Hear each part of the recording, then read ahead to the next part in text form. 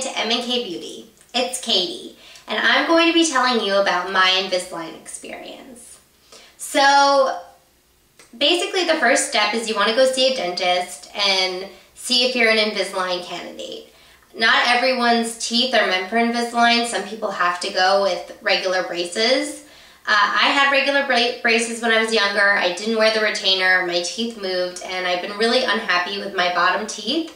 Not so much my top teeth, they're not so bad, but my bottom ones really bothered me. So I found out how much it was going to be and how long it would take, and basically it was really expensive, so I decided to wait. And then this past year, I decided, you know what, I'm just going to do it. I've wanted it for so long, you know, it's never going to be the right time. So I went and I got uh, my impressions done, and they took pictures, and basically six weeks later, my Invisalign came into my dentist, and then I went in, and they put little uh, prongs type things on my teeth so that the Invisalign could hold on to them. Like that's how they snap into place and hold on to your teeth.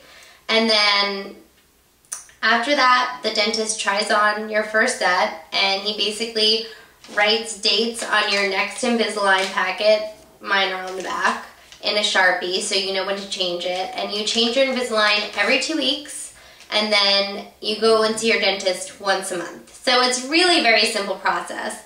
The only time you're supposed to take your Invisalign out is when you're going to be eating. That's the only time to take it out. Otherwise, you sleep, everything with it in. The only thing you can drink with your Invisalign in is water, which for me is not a problem because I'm not really a coffee drinker or anything like that, but I'm sure for coffee drinkers or soda drinkers, it's, it's really hard because you'd have to take your Invisalign out and brush your teeth then because you have to brush your teeth before you put them back in. So I'm sure that's a lot harder for those people.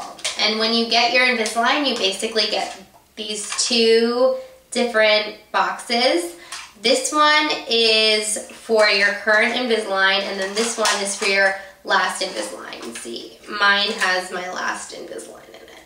And I'm gonna come closer so you can see them, and I'm gonna come closer so you can check out my teeth. Hi! Okay, so I'm gonna show you my Invisalign and my teeth and basically why I got them. So here's my teeth, and you can kind of see there's something there, and my bottom ones are really the problem. So when you snap your Invisalign out, it looks like this. It's really not hard. It's kind of foamy right now. it's kind of gross.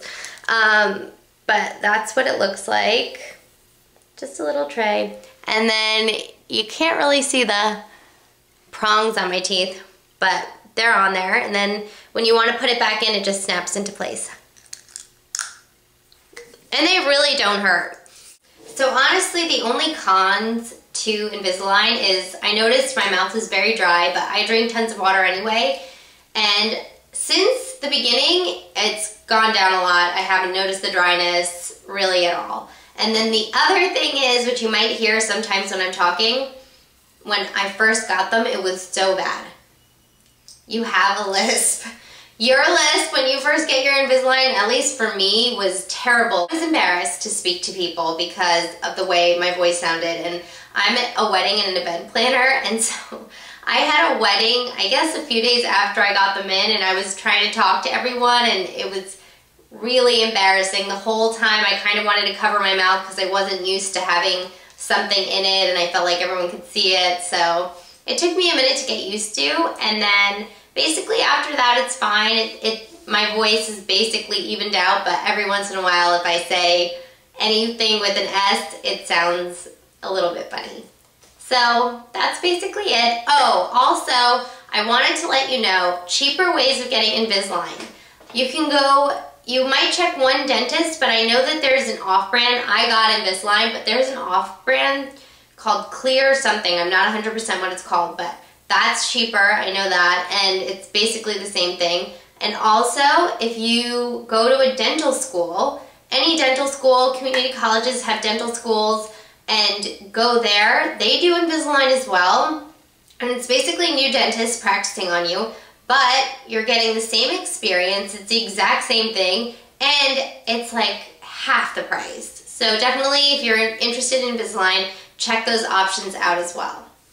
Basically, that's it. for my video. I hope you enjoyed this and it was informative. And if you're thinking about Invisalign, you have any other questions, feel free to comment or message me. I'd be happy to answer them for you.